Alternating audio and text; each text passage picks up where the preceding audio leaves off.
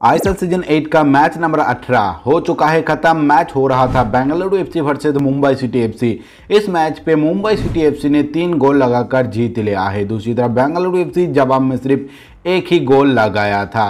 Mumbai city FC के नाम तीन पॉइंट गया है। बेंगलुरु एफसी का एक और डिसअपॉइंटिंग परफॉर्मेंस चलिए इस मैच के हम लोग रिव्यू कर लेते हैं। यहाँ पर मैं आपको इस मैच से रिलेटेड सारा डिटेल्स बताने वाला हूँ। कौन सा खिलाड़ी ने अच्छा किया है, कौन सा खिलाड़ी ने खराब किया है मैच स्टोरी क्या रहा है मैच स्टैट क्या रहा है, ये सब कुछ बताऊँगा। तो आपको अगर जानना है तो इस वीडियो का अंत तक ज़रूर देखते रहना। तो सबसे पहले अगर दोनों टीमों की प्लेइंग इलेवन देखा जाए तो मैंने आपको प्रीव्यू वीडियो में जिस तरीके से बताया था, कुछ उस तरीके का ही नज़र आया है। ज़्यादा कुछ चेंजेस यहाँ पर नहीं था।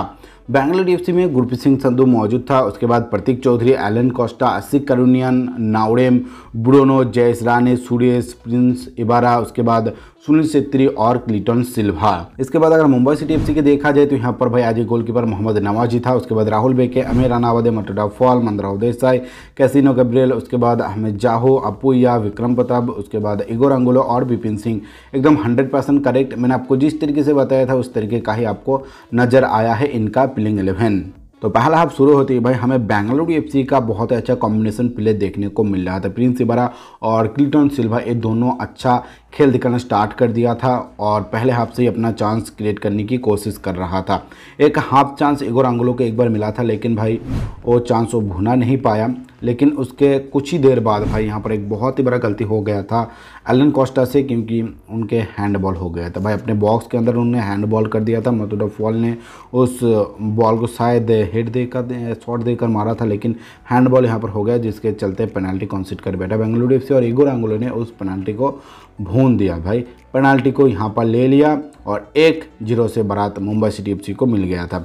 उसके बाद भाई, बेंगलुरु एफसी अच्छा खेल रहा था। बेंगलुरु एफसी का आसिक कर्नियन लेफ़्ट साइड से जो अटैक चांसेस करने की कोशिश कर रहा था वो भाई, कोशिश उनका सक्सेसफुल रहा है। जैस राने को भी भाई, कुछ अच्छा मौका मिला था। वो भी बहुत ही अच्छी तरीके से बॉल को कंट्रोल कर रहा था। उसके बाद हम बात करेंगे भाई नेक्स्ट जो गोल आया उसके बारे में, जो कि 20 मिनट पर आया। एक फ्री किक कंसिडर कर बैठा यहाँ पर मुंबई सिटी एफसी अपने बॉक्स के ठीक बाहर और उसको भाई लेने गया था क्लिटन सिल्वा और क्लिटन सिल्वा भाई फ्री किक से ही टॉप कॉर्नर पर बॉल को घुसा दिया और यहाँ पर स्कोर लाइन वन वन हो गया था। यहाँ पर भी भाई बेंगलुरु एफ़ इक्वलाइज दाग दिया था। लग रहा था कि भाई दोनों के बीच एक टफ कंपटीशन होने वाला है और भाई हो भी रहा था यहाँ पर, क्योंकि जो कॉम्बिनेशन प्ले मैंने आपको बताया था कि इबारा और सिल्वा के बीच हमें दिख रहा था।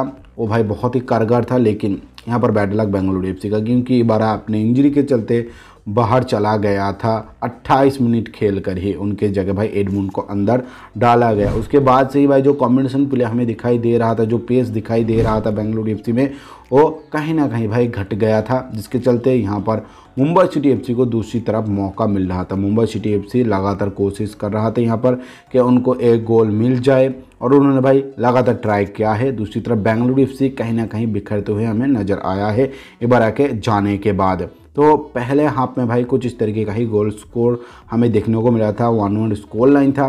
लेकिन जब सेकंड हाफ़ स्टार्ट हुआ भाई सेकंड हाफ़ में विक्रम पतब को बाहर किया गया और रेनियर अंदर आया था। और उसके बाद मुंबई सिटी एफसी का भाई दबदबा था। उसके बाद मुंबई सिटी एफसी पूरा सेकंड हाफ़ में अपना दबदबा दिखाया है। फ़र्स्ट हाफ़ कहीं ना कहीं बेंगलुरु एफसी का नाम गया था, लेकिन सेकंड हाफ़ में बहुत अच्छी तरीके से कम किया है। बहुत सारा चांस क्रिएट कर रहा था। कॉम्बिनेशन प्ले बहुत ही अच्छा हमें नज़र आया था, खास करके भाई अपुया, क्या बॉल डिस्ट्रीब्यूट कर रहा था भाई। उन्होंने मुंबई सिटी एफसी के मिडफील्ड को भाई बहुत अच्छी तरीके से कंट्रोल किया है। एक लिंक अप जो होना चाहिए मिडफील्ड और आफ्रंट के बीच, वो भाई उन्होंने बरकरार रखा है। डिफेंसिवली भाई वो काम कर रहा था। उनका भाई आज वाक बहुत ही अच्छा था और उन्होंने अपना किरधर को बहुत अच्छी तरीके से निभाया था और वहाँ पर भाई फिर से एक मुंबई सिटी एफसी का नाम गोल आ गया था। शायद एक फ्री किक था वहीं से ही भाई मटुडा फॉल अपना हेड देकर फिर से एक और गोल लगा दिया। एज ए डिफेंडर सबसे ज़्यादा गोल लगाने वाला खिलाड़ी भाई बन चुका है और सबसे ज़्यादा हेड देकर गोल लगाने वाला खिलाड़ी भी भाई। मटोडा फॉल है आईसीएल की हिस्ट्री में और हमें जाऊन भाई उस फ्री को लिया था, जिसके चलते उनको गोल मिला। क्या ज़बरदस्त भाई दोनों का कॉम्बिनेशन रहता है।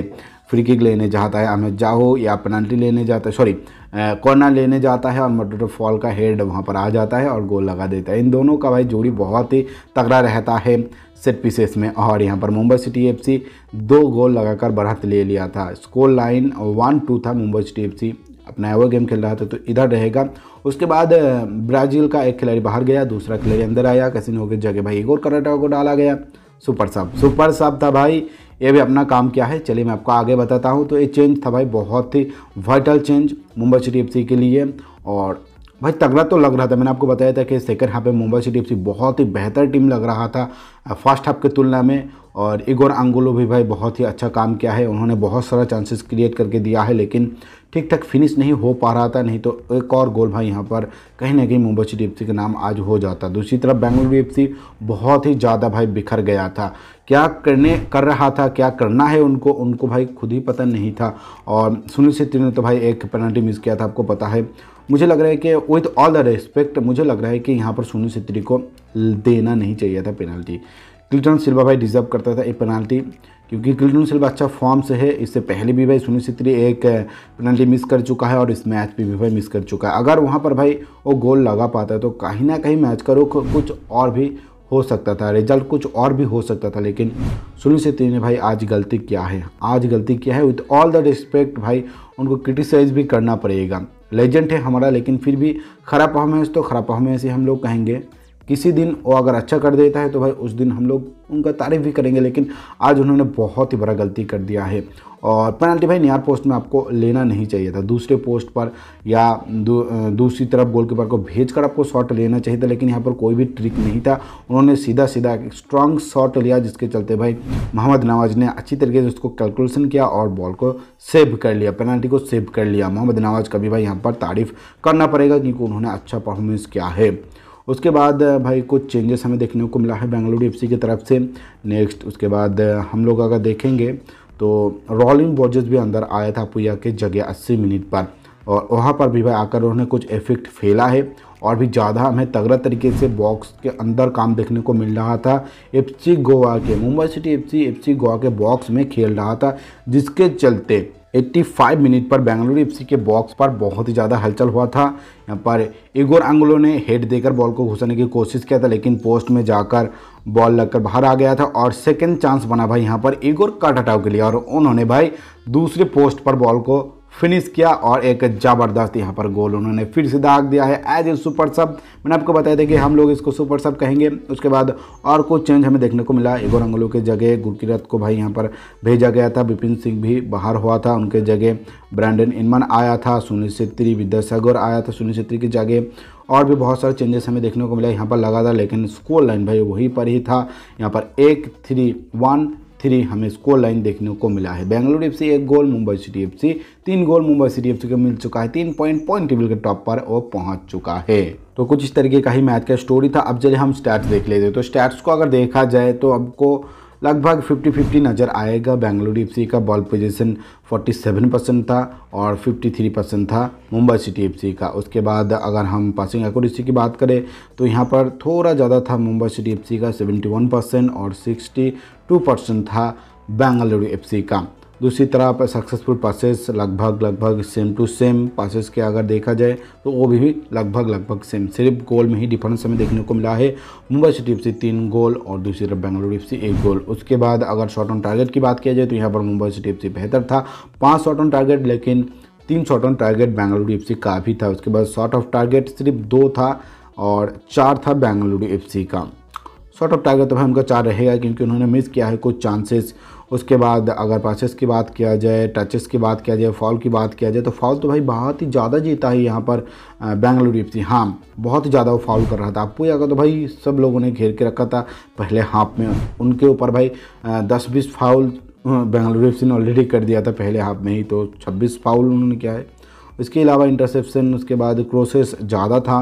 यहाँ पर बेंगलुरु एफ़ का लोग देख सकते हो, मुंबई सिटी एफ़ का कम था, लेकिन उनको गोल मिला है, कॉर्नर सेम टू सेम था। तो स्टैट्स अगर देखा जाए तो लगभग भाई हम लोग फिफ्टी फिफ्टी कहेंगे इसको पूरी तरीके से देखने के बाद। और इसके बाद अगर कुछ खिलाड़ी का नाम किया जाए तो बेंगलुरु एफसी की तरफ़ से भाई गुरप्रीत सिंह संधू का परफॉर्मेंस बहुत ही एवरेज था, बहुत ही ज़्यादा एवरेज परफॉर्मेंस उनका था, उनको और भी अच्छा करना चाहिए था।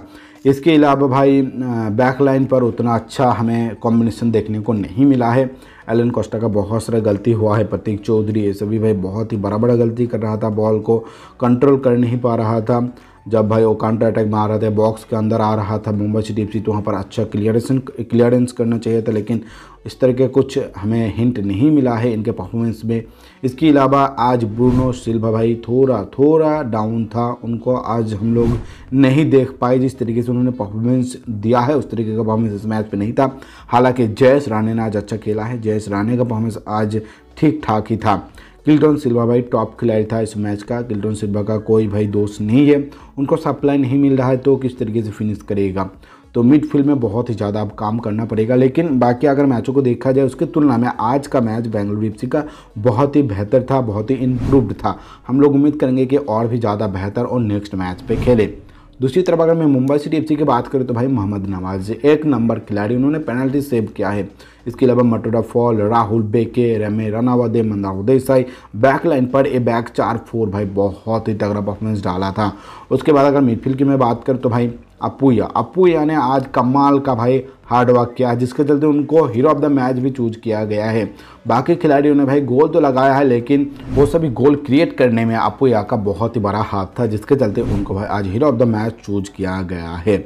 इसके अलावा इगोर अंगुलो का भी बहुत ही अच्छा परफॉर्मेंस था, विक्रम प्रताप सिंह ने भी अच्छा किया है पहले हाफ़ में। उनका जो स्पेशलिटी है स्पीड वो स्पीड उन्होंने पहले हाफ़ में दिखाया था। एक दफ़ा तो भाई बहुत अच्छी तरीके से उन्होंने स्पीड पकड़ा था बॉल को ले जा रहा था, लेकिन बेंगलुरु ने उसको इंटरसेप्ट किया, जिसके चलते भाई कहीं ना कहीं खतरा थोड़ा हुआ था, इसके अलावा विपिन सिंह भी अच्छा खेला है। तो मुंबई सिटी एफसी का परफॉर्मेंस ओवरऑल बहुत ही तगड़ा था आज के मैच पे, जिसके चलते मुंबई सिटी एफसी को जीत मिल चुका है। आप लोग भी क्या सोच रखते हो इस मैच के ऊपर? कमेंट करके मुझे ज़रूर बताइए। फ़िलहाल के लिए इस वीडियो कहीं पर एंड कर रहा हूँ। आपको बहुत बहुत शुक्रिया टाइम निकल के इस वीडियो को देखने के लिए। अगर आपको वीडियो अच्छा लगे तो लाइक ज़रूर कर दीजिए। अपने दोस्तों से इस वीडियो को ज़्यादा से ज़्यादा शेयर कर दीजिए, ताकि उनको भी इस तरह की इंपॉर्टेंट चीज़ों के बारे में पता चले। और आपने अभी तक चैनल को सब्सक्राइब नहीं किया है तो चैनल को सब्सक्राइब करने के बाद ऑल नोटिफिकेशन ऑन कर दीजिए, ताकि आपको फटाफट नोटिफिकेशन मिल जाए जब भी मैं वीडियो अपलोड करूँ।